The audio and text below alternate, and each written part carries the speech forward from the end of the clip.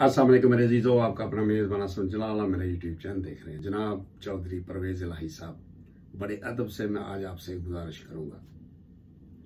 और बहुत सारे लोग पाकिस्तान सॉरी ओवरसीज इंग्लैंड में मुझे कॉलिंग कर कर गिला शिकवा कर रहे हैं कि चौधरी परवेज इलाही साहब ने कोई एक्शन नहीं लिया। हाँ आपने 25 बीस या 25 एस एच ओ को ज़रूर मुतल किया है।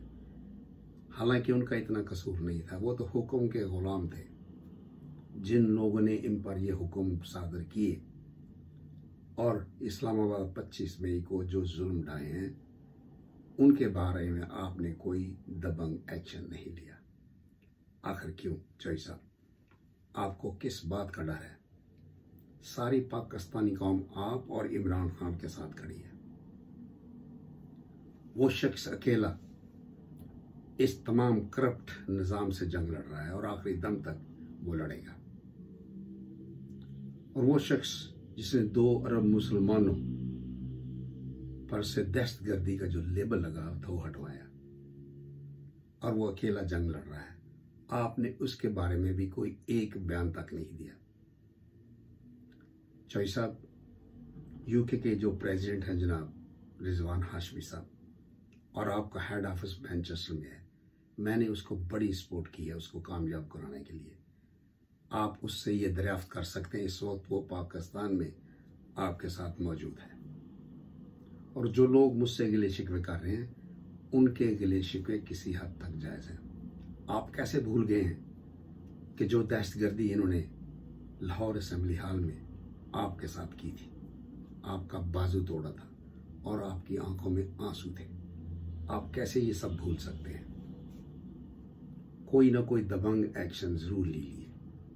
आपसे तो पेशावर वाले बाजी ले गए जिन्होंने मियाँ नवाज़ शरीफ, उसकी बेटी मरीम नवाज़, और ये चेरी ब्लॉसम, के अलावा मौलाना डीजल, और पीडीएम के आठ अहम रहनुमाओं के खिलाफ दहशतगर्दी का मुकदमा दर्ज करवाया है। और उसमें जो रीजन दी गई है कि इन्होंने माजी में इदारों को धमकियाँ लगाई थी। तो चोई साहब आप तो एक बड़े दबंग बाप के बेटे हैं। चौधरी जहूर अलाही के बेटे हैं, जिसने पाकिस्तान की खातर अपनी जान दी थी। आप भी खड़े हो जाइए। आप वो सीएम हैं जो पाकिस्तान की हिस्ट्री में दस सीटों वालों को कभी चीफ मिनिस्टर ऑफ़ पंजाब नहीं बनाया गया था। आप इमरान खान का शुक्रिया अदा कीजिए। और उस शख्स पर जो आज दहशतगर्दी का मुकदमा दर्ज किया गया है। आपने एक बयान तक नहीं दिया। आखिर क्यों? ये जो चेरी ब्लासम, दुनिया का करप्ट तरीन वज़ीर आज़म है, अब ये जनाब अपनी पूरी टीम के साथ कतर जा पहुँचा है। और वही पेंट कोट और टाई लगाकर वहाँ गया है।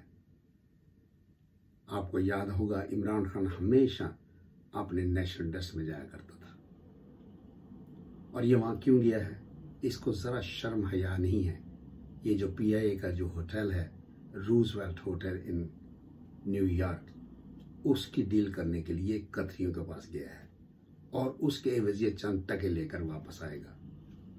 और पाकिस्तान में इस वक्त जो सैलाब की वजह से आधा पाकिस्तान डूब चुका है और ये जनाब यशियाँ करता फिर रहा है। इस शख्स के बारे में आपने कोई आज तक बयान नहीं दिया। ये जानते हुए कि दुनिया का ये करप्ट तरीन इंसान है। और इन दोनों पर जितने बड़े करप्शन के केसेस हैं, वो भी आप सबको पता है। तकरीबन इन बाप बेटों पर 40 अरब के हिसाब से करप्शन के केसेस हैं जो इन पर आयद किए गए थे। आपने कभी इसके बारे में एक लफ्ज नहीं कहा, आखिर क्यों? क्या वजह है? उस वक्त से डरिए जॉय साहब, अगर पाकिस्तानी कौम आपके खिलाफ हो गई तो जो इस चेरी ब्लासम का हाल है वो आपका कहीं ना हो।